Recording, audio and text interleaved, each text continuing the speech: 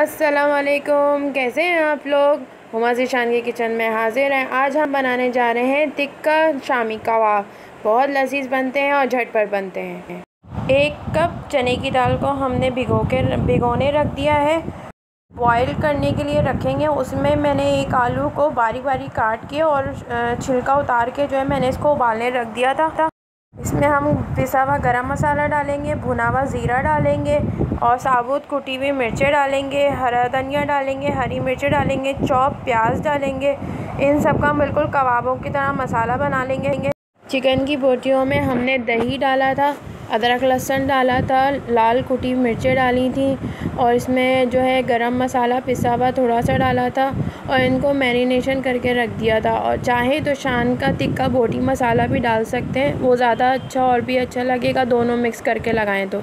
मैंने दोनों ही करे थे।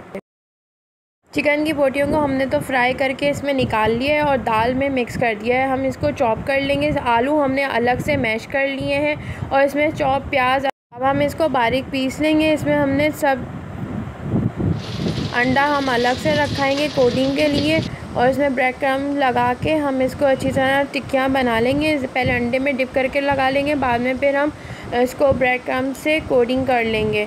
और हमने सिर्फ़ और सिर्फ़ कबाब के मसाले में वही डाला था, पुदीना, हरा धनिया, हरी मिर्चें, बारीक अदरक और इनको सब चीज़ें मिक्स करके हमने जो है मिला दिया और इसको पीस लिया था। टिक्कियाँ हमने तैयार कर ली अब हम फ्राई कर लेंगे जो हमें चाहिए। बाकी हम ये मज़ेदार हमारी चिकन टिक्का शामी कबाब हमारा तैयार है। ज़रूर फीडबैक दीजिएगा बताएगा मेरे चैनल को सब्सक्राइब करिए।